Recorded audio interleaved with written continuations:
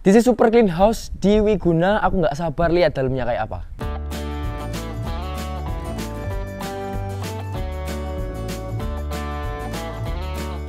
Selain lokasi, yang paling penting itu juga keindahan atau keestetikan dari rumah yang akan kita tinggali.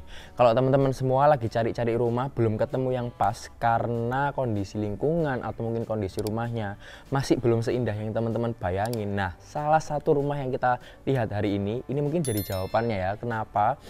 Karena waktu aku lihat ke sini teman-teman, ini benar-benar nyaman cozy kekinian dan yang paling penting adalah estetik. Jadi kita mau bermain interior apa pun mau ngecat ulang dan lain-lain itu masih sangat bisa karena semua warnanya netral dan sangat bisa untuk dieksplor. Oke? Nah Wiguna ini sendiri dekat ke mana? Yang paling penting dekat ke UPN ya. Jadi kalau mau cari rumah dekat UPN dekat Rungkut dekat Tol Tambak Sumur terus dekat ke daerah Pondok Chandra. Nah Salah satu tempatnya adalah di Wiguna ini, ya perumahan yang lama dan kita sudah lihat di sekitar sini sudah banyak sekali penduduk. Jadi kalau teman-teman pindah ke sini sudah pasti punya tetangga.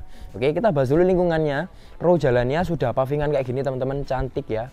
Dan sekitar 7 sampai 8 meteran. Ya, bisa dilalui dua mobil. Dua mobil dan masih ada beberapa space juga, cuman di depan setiap rumah itu masih ada bermnya sedikit untuk taman-taman atau penghijauan. Lanjut kita ke sebelah sini, kita lihat dulu fasadnya teman-teman. Nah, fasadnya ini memang nggak neko-neko ya, benar-benar minimalis. Warnanya abu-abu dan putih, jadi benar-benar kelihatan clean gitu ya. Kelihatan cute banget gitu. Tapi untuk area pagarnya, ini warnanya hitam dan bisa dilipat. Jadi kalau kita lihat ke sebelah sini area carportnya juga kelihatan lebih lega gitu ya. Nah rumah ini sendiri dari jalan itu naik sekitar 30 sampai 40 sentian dan tenang aja nggak akan banjir karena di sini selokannya irigasinya sudah oke bahkan sudah rapi tertutup oleh plat besi ini. Oke. Kita langsung masuk ke sebelah sini. Rumah ini ukurannya 6 kali 15 atau 90 meter persegi ya. Lumayan luas dengan luas bangunan sekitar 50 meter persegi. Ini adalah area carportnya bisa diisi untuk satu mobil ya dan beberapa kendaraan mobil besar ini bisa masuk. Terus yang enak di sini adalah penghijauannya sudah tersedia semua teman-teman ya. Meskipun rumahnya minimalis tapi ada sentuhan nature-nya atau sentuhan tropisnya sedikit. Ada di sebelah kanan, sebelah sini masih ada tanah sisa ya dan sudah ditanam-tanami ada beberapa lampu juga spotlight untuk uh, nge-highlight tumbuhan-tumbuhannya pada waktu malam hari. Jadi di bagian depan nggak seberapa gelap. Di sini ada beberapa operasional air juga di sebelah sana kanan sudah ada sanyo. Terus di sebelah kiri sudah ada keran, tandon air beserta dengan meteran air. Nah untuk floornya sendiri ini flat ya teman-teman jadi sudah rapi terus pakai granit nih. Tapi granitnya kasar ya jadi nggak licin ketika kena air. Oke kita lihat lagi fasadnya teman-teman. Memang di sini nggak banyak permainan ya. Permainannya cuma cat aja dan beberapa bingkai yang ada di bagian atas dan samping. Tapi ini sudah kelihatan minimalis banget. Apalagi ketambahan satu kaca yang besar kayak gini sliding window ya yang bisa untuk acara-acara. Jadi kalau misalkan nanti teman-teman ada selamatan atau ada acara di rumah ini bisa dibuka sehingga ruangannya bisa lebih luas dan anginnya bisa lebih masuk banyak. Oke, yuk sekarang kita masuk ke dalam rumahnya.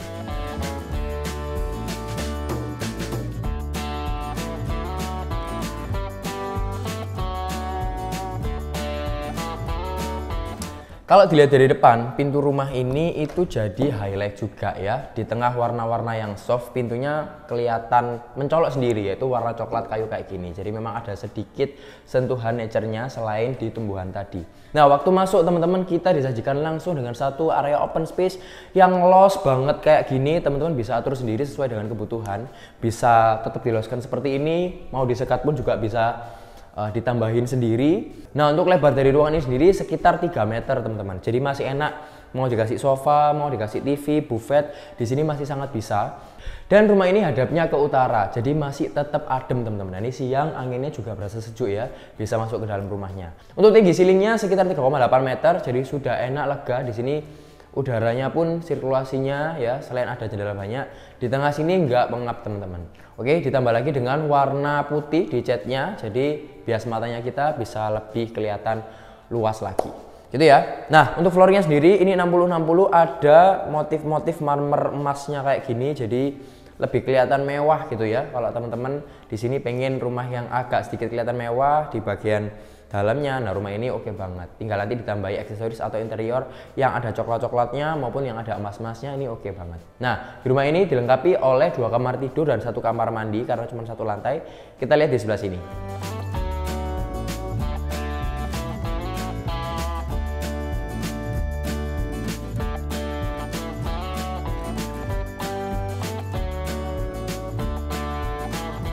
Uniknya di rumah ini, ceiling di setiap kamarnya juga sama seperti di ruang tengah tadi teman-teman, yaitu sekitar 3,8 meter. Untuk instalasinya semua juga sudah terpasang, ada instalasi listrik, AC di sebelah sana, dan tidak lupa ada jendela yang langsung bisa ngelihat taman yang ada di samping tadi. Oke banget ya. Nah, di depan kamar ini sudah tersedia satu kamar mandi yang bisa dipakai untuk semuanya ya. Nah, kamar mandi ini juga cukup luas, ada shower di sebelah sana dengan rangka warna hitam ya. Terus untuk klosetnya kloset duduk sudah. Terus untuk bagian atasnya masih ada saluran untuk water heaternya. Jadi kita tinggal masang aja. Pintunya pun sudah pintu aluminium ya. Nah kalau nggak cocok sama desainnya teman-teman bisa tambahin stiker sendiri. Jadi minor banget. Nah yang aku suka semua pintunya itu punya structure lain kayak gini. Nah ada motif kayu-kayu sama kayu depan ya. Cuman ada teksturnya garis-garis. Nah ini nambahin rumah ini jadi kelihatan lebih elegan lagi teman-teman. Kamar kedua juga punya ukuran yang sama sekitar 3 meter kali 2,5 meter. Dengan ceiling yang sama, fasilitas yang sama dan ada jendela yang langsung terhubung ke area outdoor bagian belakang. Yuk kita sekarang coba ke sana ya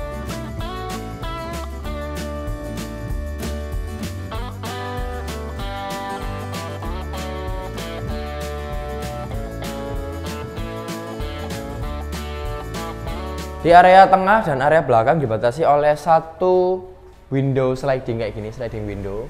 Aluminium pakai Dexon ya, jadi sudah berkualitas. Ini enak karena langsung benar-benar kelihatan luas dan anginnya masuknya juga leluasa. Nah, ini adalah area dapurnya teman-teman. Ya, dapurnya sudah ada kompor. Nanti langsung teman-teman dapetin ini juga kompor, wastafel, sinknya juga lumayan oke. Okay dan area dapurnya juga lumayan luas. Kita tinggal tambahin kabinet bawah dan kabinet atas dan warna di sini memang banyak marble-marblenya kayak gini ya.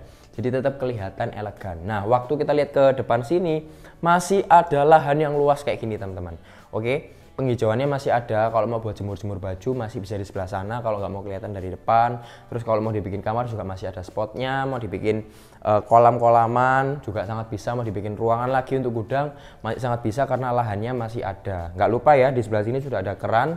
Kalau misalkan teman-teman butuh untuk area servis oke Rumah ini sudah SHM, IMB, dan BBB-nya lengkap semua. Jadi kalau kita mau ambil rumah ini secara KPR masih sangat bisa. Listriknya 1300 dan airnya sudah PDAM ya teman-teman. Rumah ini harganya 950 juta dan masih bisa nego under 1M ya. Suratnya surat Surabaya, deket ke area UPN dan sekitarnya. Rumahnya ready. Jadi kalau teman-teman cari-cari sana sini belum ada ketemu yang estetik. Nah, salah satunya mungkin rumah ini jawaban buat teman-teman semua. Oke, langsung klik di bawah ini untuk survei sama-sama bareng Jedit supaya teman-teman nggak kehabisan karena cuma satu unit aja. Oke, langsung segera kontak ya.